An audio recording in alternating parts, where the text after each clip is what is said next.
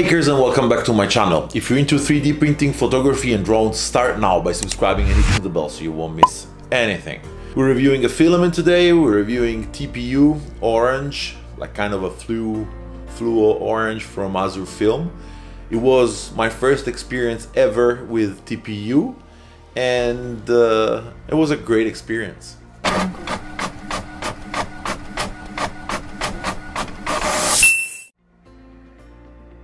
Before getting into the review, I would like to tell you about this collaboration I have ongoing with this really good friend of mine, Giuseppe. He runs an Instagram page, 3D Print All. You will find all the links in the description. He talks about 3D printing world, about printers. He talks about filament. He reviews filament and talks about application of 3D prints to electronic. It's a very fun page to go visit. All the links will be in the description.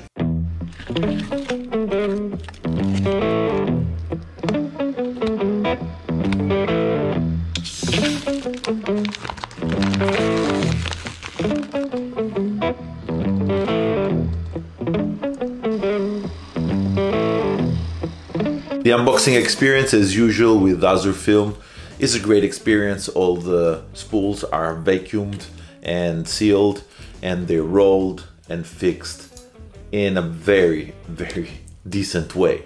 I mean, not all filaments are spooled this way and this is a sign of like really high quality that Azure Film puts into the making of their filament.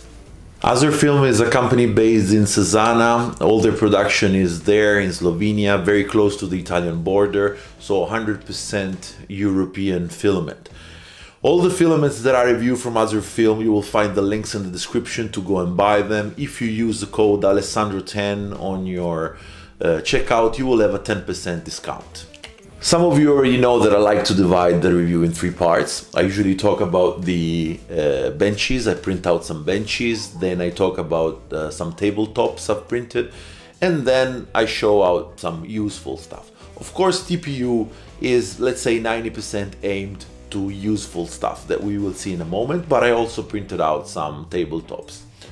I started out with the Benchy and the first thing I printed was this calibration cube by Kep and I must say came out great. But there's a but. I was very lucky because soon after this, right after this, my bed was not leveled perfectly. That resulted in, you know, awful prints, like wastable. These are like wristbands and cable, uh, cable management uh, clip they all failed and that was because my bed wasn't leveled properly. And that's very important when printing TPU it doesn't matter if the, the bed is heated or not. The important thing is the bed needs to be perfectly leveled and kind of a little bit more like squeezed than a regular than printing regular PLA I fixed that and I started printing another couple of benches. Of course I printed out my Calicat you know I love Calicats.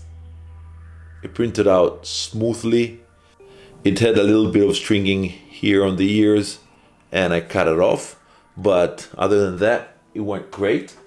Then I printed out this bowl. It had a little bit of support underneath and you can see it's a bit rough. But guys, TPU printed easy, very easy. And of course, it's the first TPU I try, so I don't have any other reference, but for what I see, it's more than enough. I decided then to print out some tabletops and the first one that comes to my mind, a model that I love, is the Matterhacker Filament Astronaut. This is all TPU, 20% infill, it's squishy, and guys, I love it. I mean, I'm in love with this model. It, it tells you a lot about the filament, and it turned out great. It looks amazing. This orange neon gives the TPU a touch that's like really, really nice. Then I printed out, of course, an octopus. We're talking about flexible filaments. And I needed to print an octopus. Same 20% infill. Kids love it. And it's, you know, unbreakable. It turned out perfectly. No raft, no brim, straight to the bed. Bed was leveled perfectly. Great result.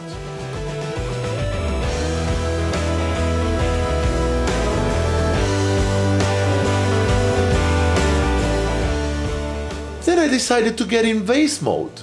I had tried this once and it failed. Tried the second one. Very thin layer here, not 0.8. It's breaking a little bit. I can already see it because I was squishing it, like doing all my tests. But the result is not bad at all. Not bad at all. I fixed the layer width to 0.8 as I normally do with vase mode and the result is this.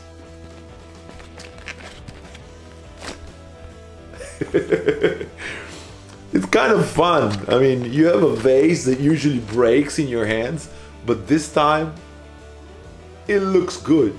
It really looks amazing and feels amazing. Of course, there's some issues because speed, I was printing too, too fast. It was extruding at 0.8 width even though I had a 0.4 nozzle. So that's a trick that like 80% of time works, but the 20 other percent of time, like especially with TPU and different material, that will not work every time.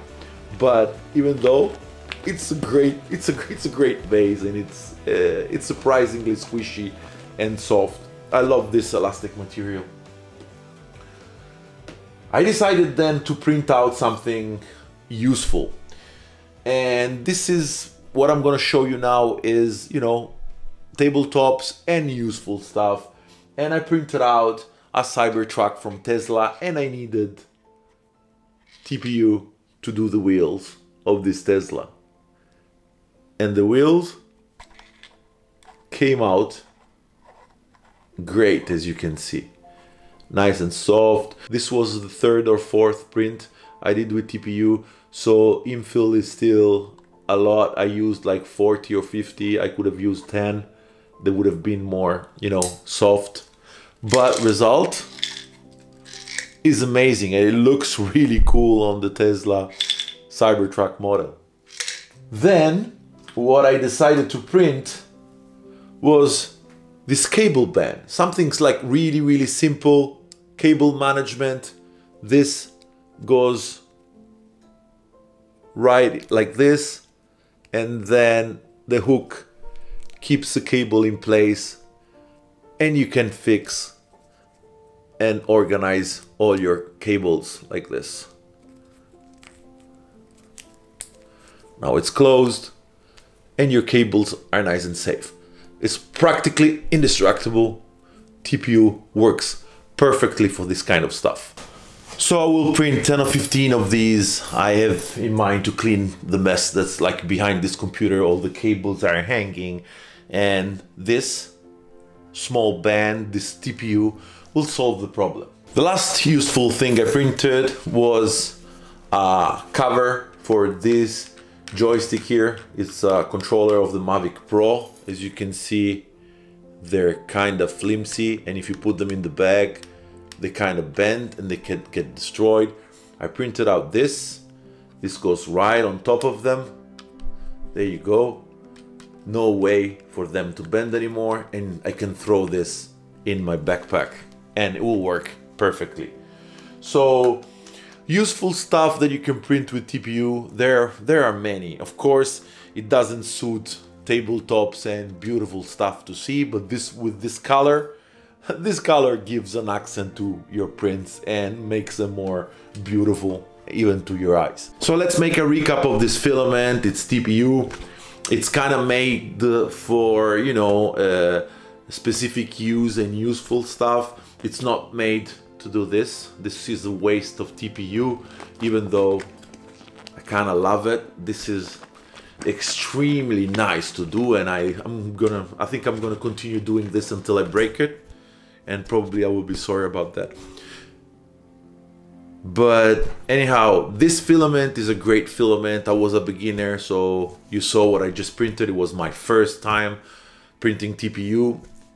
Just fixed the bed leveling, that was very important. That's why I had my second and third uh, failed print.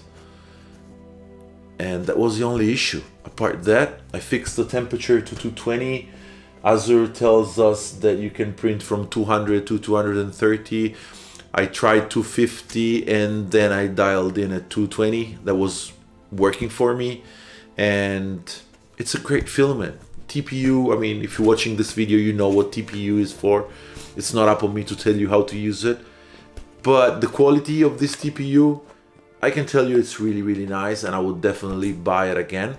I'm gonna call Azure and tell them to, uh, I'm gonna order some stuff. I can't ask it for free. But, you know, it's, it's a great filament. Azure Film is a warranty of quality. I mean, when you buy Azure Film, you know exactly what you're buying. All the links to buy this filament and other filaments will be down in the description. If you buy from the link, you can use the code Alessandro10. You will have a 10% discount on your purchase. That was all for today, guys. I really hope you enjoyed the video. Smash the like button if you did. Subscribe if you're not yet subscribed. And I'll see you guys on the next video.